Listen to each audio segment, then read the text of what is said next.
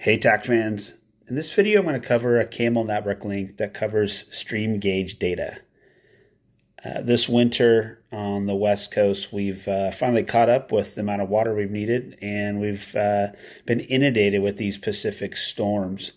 Um, our good friend Joseph Elfelt at mappingsupport.com is a genius at getting into these public access uh, GIS servers and pointing out where we can get data.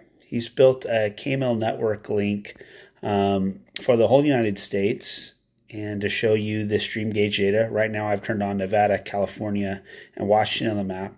And we'll show you how to bring that into ATAK and build that KML network link and how to share it out. The first thing I want to kind of show you is the schema. You can see the different colored uh, dots here. Blue dots mean that there's no threshold set uh, for that particular stream um, as far as what a flooding event um, may, you know, may be triggered. And that could be because it's a seasonal stream or just for stormwater. Those typically don't have uh, kind of a foot of elevation of when something be flooded versus a river that normally has water in it year round. So anytime you see something that's blue, um, you will not, it's just going to remain blue, meaning it doesn't have uh, um, that attribute data set to it. And I'll, I'll uh, show you ones that do and kind of compare it. All right, here's one, um, some out in um, the Monterey area. We'll click on this green one here and we'll get uh, the metadata. You can see the status says no flooding and the water body is the Carmel River. As then I scroll down, you can see the observed feet is 7.29 and the action is at 15 feet. At action, it will turn yellow. And then you could see at the moderate flood level is at 16 feet. And then it will turn um, to, I believe, the uh, orange or red. And we'll, we'll dive into one of these. It'll show you the, the entire schema. We'll find one that has uh, all the color attributes. But that's the metadata behind it. Um, on the URL here, if you click on that, it will open up the NOAA website and then you can get a little more data. If you grab uh, the little button here to slide this out, you can resize it. Depending if you have a phone or a tablet, um, you may not have to resize this. And then we can scroll down and then we can see some of the schema set up here. Uh, that action uh, between 15 and 16 feet, it's going to turn yellow, and at the moderate is 16 and above. Um, their record is at 20.9 um, feet. Um, you can see that this has a current observation. Some of these have forecasts in them. Um, on the left, you have the, the, the flood stage in feet, and on the right, they have uh, the flow of the river. So on any of these, you can kind of you can click on this URL and get more information. So let's close out of this one, and let's uh, click on one of these that is um, in more of a severe status. All right, here's one here. It's red. We'll click on that, and it's the Spreckels location along the Salinas River. And we'll scroll down, and we can see the observed is at 26.12 feet, action set at 20 feet so it's well above action. And that action for is just to get someone's attention like hey the, the river is rising. And they can see that they have these other thresholds. It's flooding at 23 feet. It's a moderate flooding at 26 and it's a major flood at uh, 28 so we can see it's at the moderate threshold now. If i click on the url we'll open up we'll bring the sidebar out and we'll scroll down and then you can see that they have the schema all set. Um, actions at yellow, minors at uh, the orange, moderate at red, and major at this um, kind of a purple color. And they also have a forecast uh, set as well on theirs. As you can see, today I'm filming this. It's at uh, March 13th, and they've got a forecast out for the next five days as we are expecting to get a lot of rain in the next couple days. Now I'm going to click on one of these blue ones. I mentioned before that there isn't a threshold set. Um, sometimes you can be on waterways um, that don't normally have water in them all the time, or they just might not have something set. So if I click on this blue one here, this is along the Arroyo Seco River. Click on that. And um, as I scroll down here, you can see it just has an observed at 8.56, but it doesn't have anything set for flood, moderate, major. And if you go up to the top, the, the status is not defined because it doesn't have that set. So again, on these, uh, you're never going to see them go past blue, but you can get more info. Like I said before, if you click on the URL, it will give you um, what the current info is. So it will show you the current feet and the current flow. So you can see that, um, you know, on March 10th, it was, you know, three feet above uh, the record at nine, uh, 9.6 feet. And you also get uh, the flow on the right. So just because it doesn't have parameters set doesn't mean you can't get great data. It's just not going to, um, you know, be evident on the map. You're going to have to interact with it. Um, what you could do is talk to uh, whoever maintains that, the authority having jurisdiction, and ask them to, know, maybe set some some flow rates, especially for first responders. That can be very helpful for swiftwater rescue um, type events. All right, next thing I'm going to cover is how to get started with these KML network links. Um, from my overlay menu here, you can see if I scroll down to network resources, I have three of these KML network links set up. If you've never imported a KML network link before, um, you won't see network resources. You'd have to use uh, the import function, which we'll cover here in a second. But let's interrogate one of these uh, real quick. You can see if I click on the pencil that I've got this URL here that's going out to this ArcGIS server. And for this California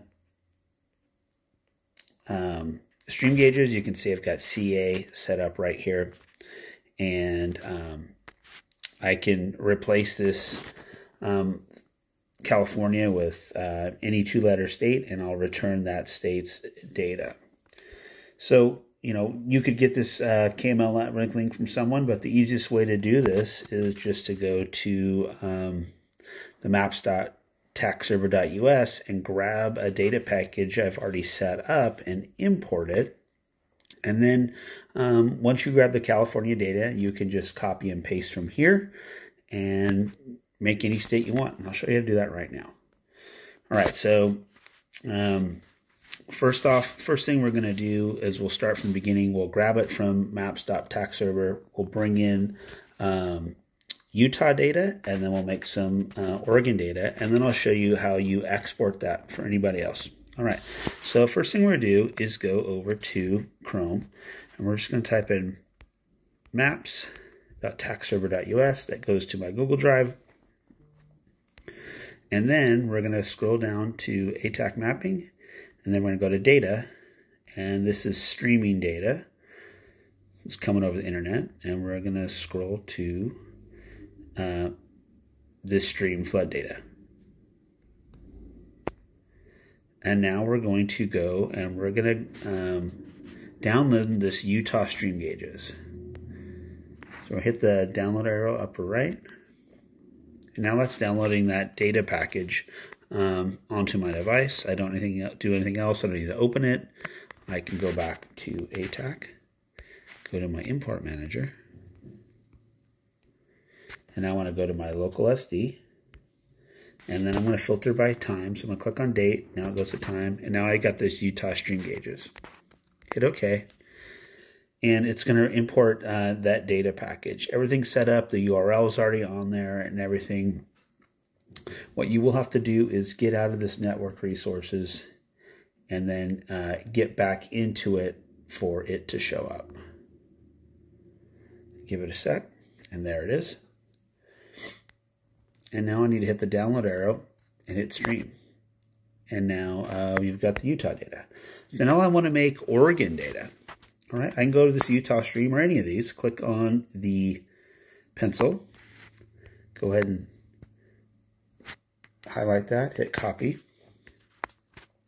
And we're going to cancel out of this, and we're going to hit the plus mark. And we're going to hit KML network link, and I'm going to paste this URL in here.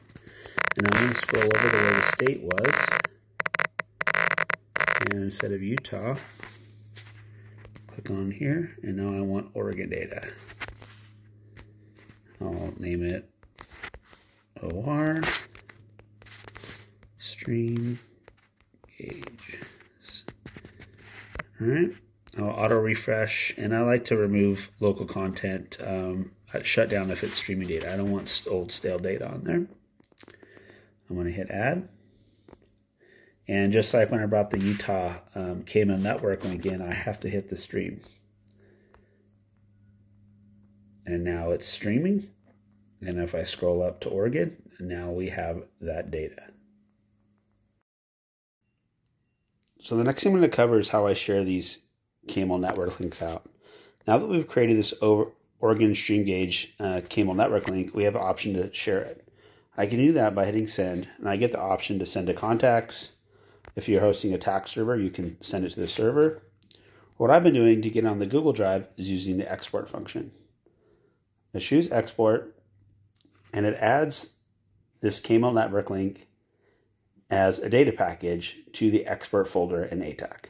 Next, I'll cover how to get it into Google Drive.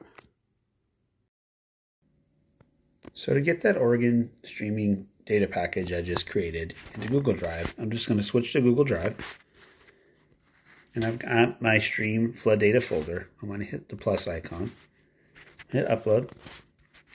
I'm going to go to my Galaxy Note 20 5G phone, scroll down to my ATAK folder, go to my export folder, and there's the Oregon uh, Stream Gauges zip file. I'm going to click on that. And now that's uploaded uh, to my Google Drive. And now anybody that goes to maps.takserver.us will be able to download that. So that's one way to, to share these is to, to put them at like uh, a hosted repository to share data. All right, well, I hope this was helpful in um, showing you how the KML network links work. Um, a big thank you to Joseph El- Elfelt at mappingsupport.com. He has really taken to ATAK and um, taken a deep dive into all of these um, open source um, ArcGIS servers uh, and bringing this data into ATAK. So, uh, again, a big thank you to him um, for showing um, us how to do this. And I hope we'll have more from him soon to share. Thanks for watching.